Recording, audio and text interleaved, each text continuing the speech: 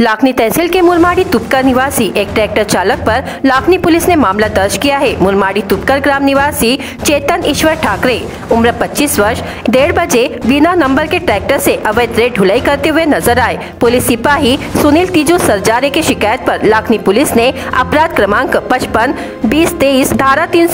के तहत मामला दर्ज किया गया है